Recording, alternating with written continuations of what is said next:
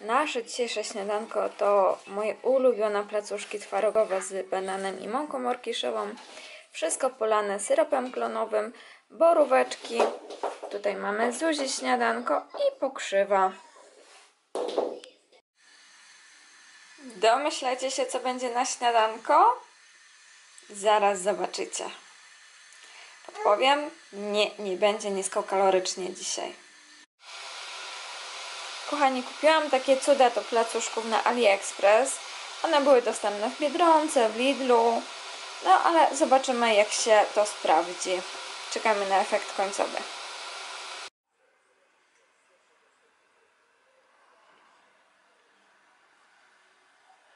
Kochani, pankejki z czego śliwką. Już miałam przyjemność jej spróbować i przysięgam Wam, jest genialna. Naprawdę jest genialna. Jeżeli lubicie takie smaki, to lećcie szybko do sklepu po śliwki, po czekoladę i róbcie zapas na zimę.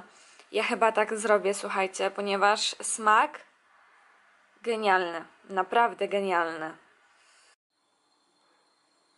Jako już nie mieliśmy ciała i pieczywa, postanowiłam upiec swoje bułeczki.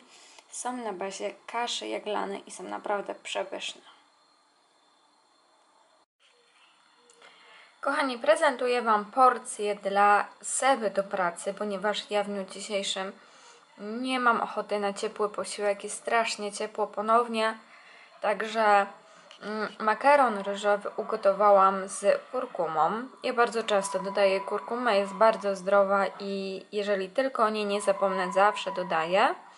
Do tego ten kurczaczek, wszystko udekorowałam szczypiorkiem i sezamem, ponieważ jemy oczyma. Także ja życzę smacznego sobie jutro w pracy. Kochani, obiad już gotowy. Całość zajęła mi może 10 minut. Już się nie mogę doczekać, aż go spróbuję. Kochani, dziś na obiad placki z cukinii z przepisu Ewy Wachowicz.